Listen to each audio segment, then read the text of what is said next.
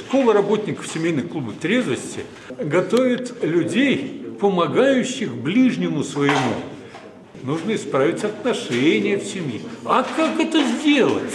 Вот этому и учат в викариатской школе работников семейных клубов трезвости. Школа уникальная, других таких нет во всем мире. Приходите в нашу школу.